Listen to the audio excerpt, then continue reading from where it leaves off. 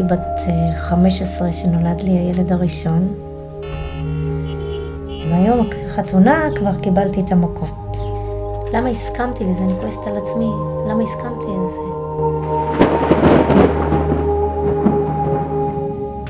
אני שיקרתי לאשתי, אפשר להגיד כל יום. אני מעניש את עצמי ואני שלם עם זה. אני חושב שמגיע לי עונש, והעונש שלי זה הבדידות. באתי כאן אחרי שאשתי פתאום התהפכה משהו אחרי 17 שנה של נישואים, חלאס, טוב, נמאס לה, רוצה קצת עצמאות, לטייל. אתה כמה בכיתי? הרגשתי שאני איזה גרעין של כאבים. אז באתי פה לאיזה צדיק, ואמר לי, אתה רוצה לשמוע סוד מתורת הסוד?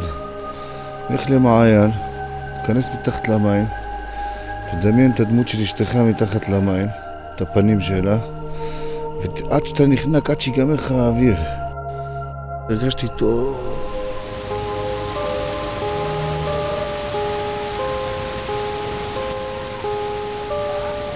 עצמאות.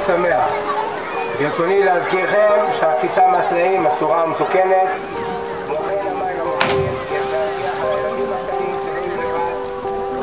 שתיים,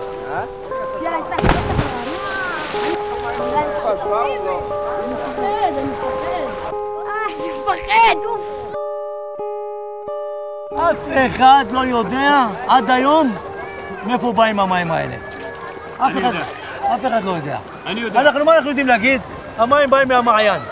זה מים, יש איזה נזילה בים. מי זה בורח?